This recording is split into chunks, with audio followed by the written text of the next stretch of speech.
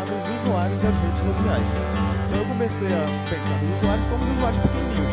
Têm hoje, nossos, os meus colegas que já têm feito 2, 3, 4 anos, eles estão sempre usando seus, seus iPads, enfim, eles estão lá com seus jogos, assistindo vídeos. De vez em quando eles destroem um iPad ou um iPhone, né? Um dia desse chegou o meu sócio, estava lá jogando, chegou o filho dele de 3 anos com um iPad ligando. E aí ele disse, o que foi, meu filho? O que aconteceu?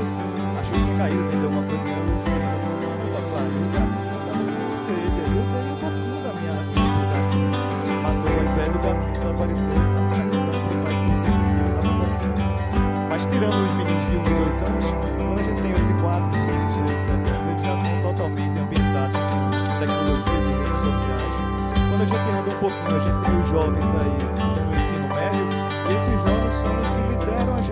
Sociais. Eles estão sempre conectados, seja com telefone, seja em casa, seja também nos tablets que já tem. E eles dizem, essa foi uma pesquisa que foi feita no ano passado nas escolas, 91% deles dizem que não tem dificuldade nenhuma, ou tem muito pouca dificuldade para acessar as redes sociais. Então o tema é difícil para mim, todo mundo já usa isso. Os professores. A gente tem área de educação, e eu estou nessa área já faz alguns anos, de que os professores eles são tapados, eles não sabem usar a internet, eles são os nossos problemas. Quando a gente vai colocar um projeto para funcionar dentro da escola, o professor é a barreira. Sempre é isso que a gente estuda. Os professores, nessa mesma pesquisa que os pesquisadores foram na escola entender o que é que eles têm de tecnologia na internet, o percentual, um percentual deles diz que não tem problema nenhum para mandar e-mail, para buscar informações. Eles sabem, eles não têm dificuldade. Sociais? Será que eles têm dificuldade? Alguém chutaria o número? Quem acertar vai uma viagem de travessa de Recife para Portugal. Como piloto. 70% deles diz que não tem dificuldade para acessar redes sociais. Isso ano atrás. 14%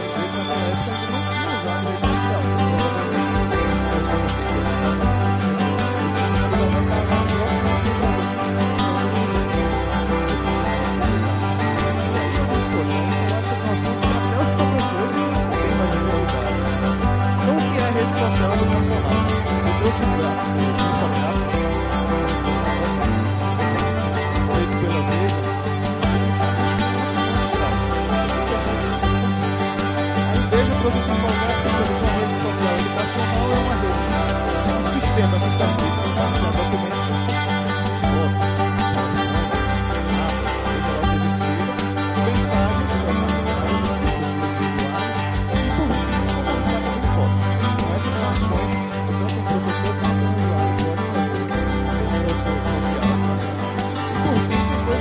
professor só tem o poder.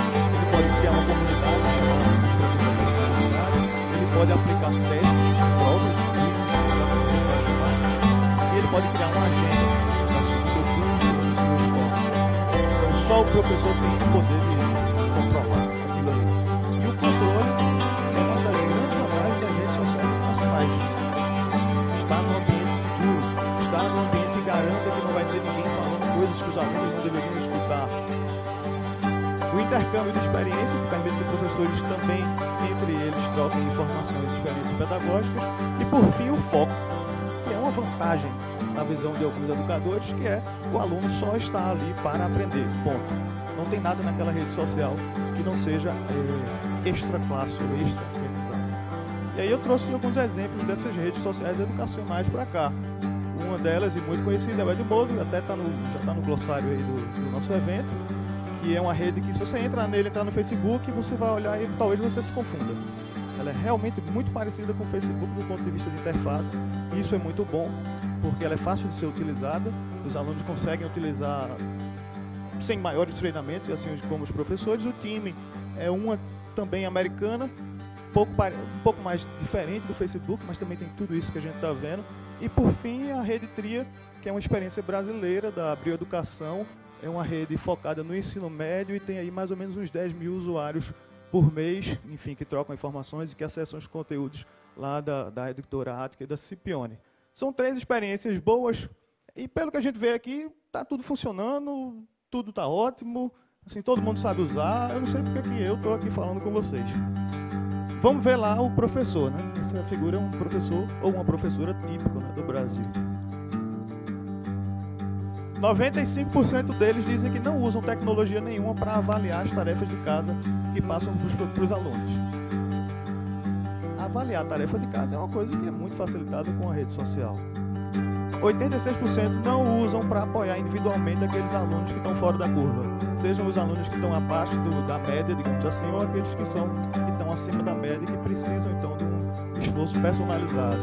Também não usam para incentivar a interpretação de texto, não usam para jogos, não usam para trabalhos em grupo. Ou seja, a gente tem uma ferramenta muito boa, que é a rede social, a gente tem internet nas escolas, a gente tem tudo hoje em dia, mas a gente não tem ainda o uso efetivo disso pelos nossos professores. E aí, do ponto de vista do aluno, que é o, enfim, o objeto da educação, a pessoa que tem que impactar, enfim, tem que trabalhar, a gente vê duas escolhas hoje, né? Ele tem uma rede social do lado ali, tem um professor passando tarefas para ele, fazendo coisas que ele tem que. obrigações que ele tem que cumprir, uma rede social educacional. E ele tem uma rede social social. Então os amigos dele, tem conteúdos interessantes, coisas legais para ele fazer. O que é que vocês acham que esse aluno, quando a gente tentar colocar isso na escola, vai escolher? A rede social educacional chata ou a rede social legal? Na nossa visão, esse é o problema da rede social educacional atualmente. Uma rede social simplesmente coloca as coisas tradicionais e ruins da escola, como os outros speakers falaram aqui pra gente, e a gente não traz nada de bom para o aluno. Na nossa experiência, o que a gente tem que fazer é juntar esses dois mundos.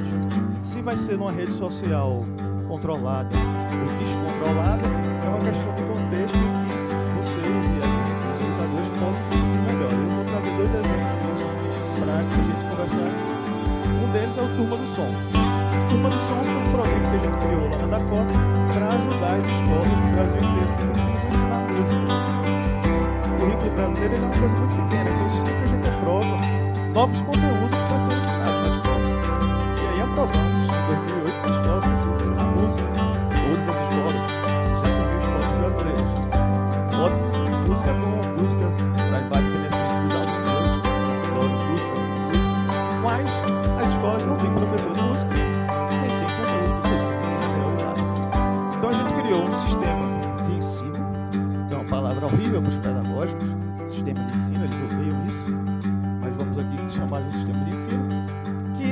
uma rede social para os pequenininhos, isso aí é fundamental 1. Então, nos pequenininhos, na nossa experiência de desenvolvimento de tecnologia, de projetos de tecnologia educacional, é necessário você ter um ambiente controlado. Então, para os pequenininhos, fundamental 1, a gente criou uma rede social em que eu tenho lá uma ferramenta para montar o meu avatar, eu tenho os meus amigos lá que estão com os seus avatares, eu tenho o professor que pode controlar tudo isso que é feito na rede social, e além da rede social em si, a rede social é um mecanismo para entregar para o aluno conteúdo, e o conteúdo, no caso do é uma série de desenhos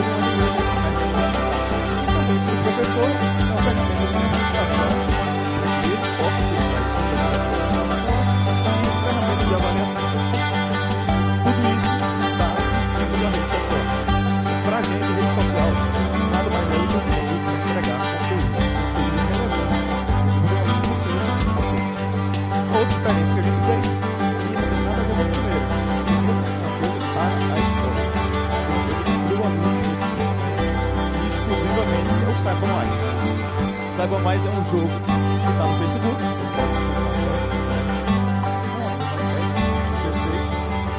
E ele é um jogo aí que começou como um simulado do Enem. Tem 3 mil questões com comentário para os alunos. Hoje em dia ele é um jogo que já tem 70 mil fãs. Em julho. E está plena produção. E ele traz todos aqueles mecanismos que nossos amigos aqui de jogos falaram. Alongar muito nisso.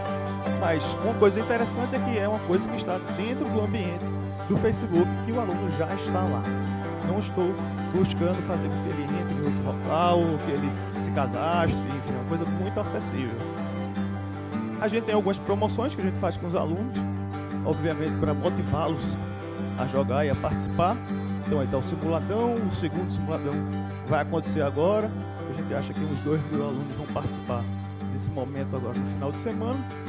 São coisas interessantes. E além do simuladão em si, que é o primeiro jogo, a gente está lançando vários outros jogos dentro dessa, dessa plataforma de distribuição de conteúdo, como o jogo lá do Pirata, que é o jogo Travessia, já está lá dentro do Facebook. E a ideia qual é? É que a gente traga mecânicas que são diferentes da mecânica pergunta e resposta, mecânicas que tragam conteúdos de alta qualidade e que ajudem efetivamente o aluno a trabalhar os nós da educação, que são os pontos em que ele tem dificuldade, os pontos em que ele não consegue aprender ou que o professor não consegue ensinar de uma forma efetiva. Então, ao longo dos próximos meses, esse jogo chamado Saiba Mais vai ser um grande jogo com vários outros joguinhos lá dentro, que são esses jogos que estão sendo lançados enquanto a gente está desenvolvendo eles.